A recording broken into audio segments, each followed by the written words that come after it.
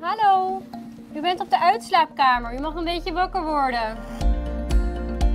Ik ben Anne-Claire, ik ben 29 jaar. Ik ben verkoever verpleegkundige in het Haga ziekenhuis.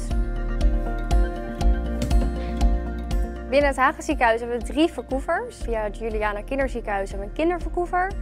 Daarnaast hebben we een kleine verkoever en een grote verkoever. Er komen heel veel verschillende patiënten op de verkoever, van jong tot oud.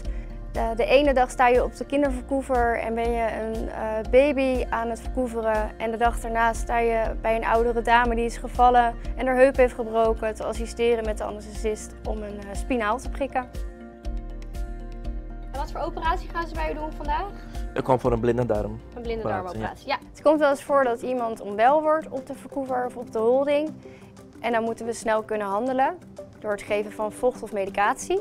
Het komt ook wel eens voor dat ze uh, veel pijn hebben na de operatie. Wij hebben veel vrijheid om de, de, patiënt pijnvrij te krijgen. We kijken in het systeem wat heeft de patiënt al gekregen en wat kunnen wij nog geven. En zo niet dan overleggen we met de anesthesist, zodat we de patiënt zo pijnvrij mogelijk naar de afdeling kunnen laten gaan.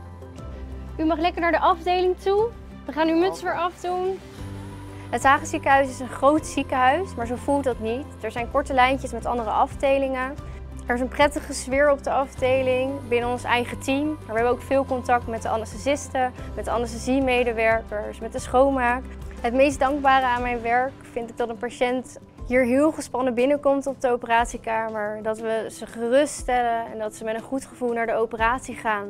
En dat ze daarna rustig en fijn wakker worden en je bedanken voor de goede zorgen.